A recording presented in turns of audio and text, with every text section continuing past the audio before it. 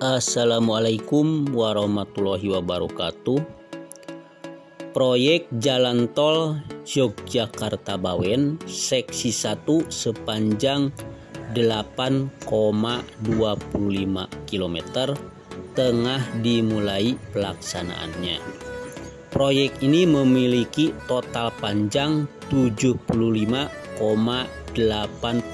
km dan ditargetkan selesai pada 2025. Jalan tol Yogyakarta Bawen membentang di dua provinsi yaitu Provinsi Jawa Tengah sepanjang 67,05 km dan Provinsi Yogyakarta sepanjang 8,77 km.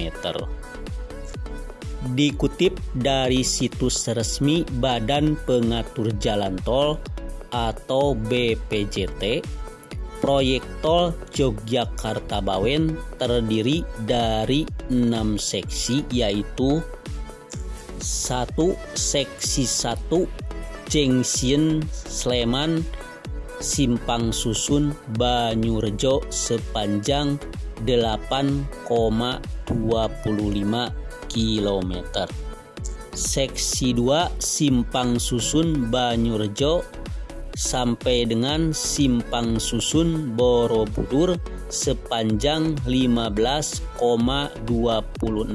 km ditargetkan selesai konstruksi tahun 2024 mendatang.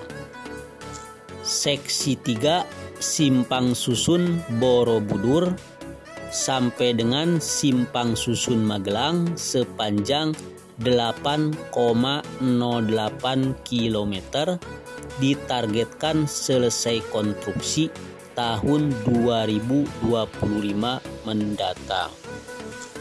4 seksi 4 Simpang Susun Magelang sampai dengan Simpang Susun Temanggung sepanjang 16,26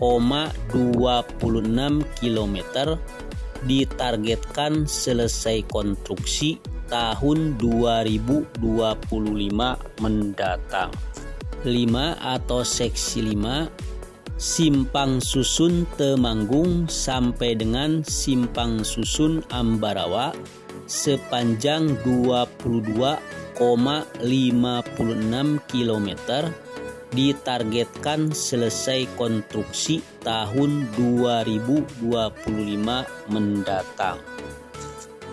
6 seksi 6 yaitu Simpang Susun Ambarawa sampai dengan Jengsin Bawen sepanjang 5,21 km ditargetkan selesai konstruksi tahun 2024 mendatang. Kepala Badan Pengatur Jalan Tol atau BPJT Danang Parikesit menjelaskan pembebasan lahan berjalan cukup kondusif. Namun masih ada beberapa persoalan teknis serta administrasi pertanahan yang segera dicarikan solusinya. Danang menegaskan tantangan pembangunan pada ruas tol Yogyakarta Bawen menyangkut implementasi teknologi terowongan dan harus turut memperhatikan aspek lingkungan. Saya meminta alat berat yang digunakan juga perlu ditambah supaya semakin mudah dalam meningkatkan capaian kinerja selama pelaksanaan konstruksi kata dana. Jalan tol Yogyakarta Bawen merupakan segitiga emas Joglo Semar dan mendukung kawasan pariwisata di Yogyakarta, khususnya Candi Borobudur yang merupakan kawasan strategis pariwisata super prioritas. Selain itu, ada juga bangunan candi lainnya seperti Candi Prambanan dan Candi Ratu Boko.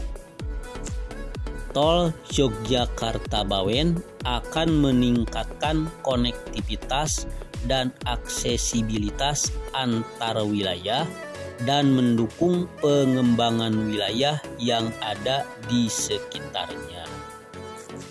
Jalan tol ini juga diharapkan dapat meningkatkan pertumbuhan ekonomi serta memangkas waktu tempuh perjalanan yang sebelumnya 3 jam menjadi 1,5 jam.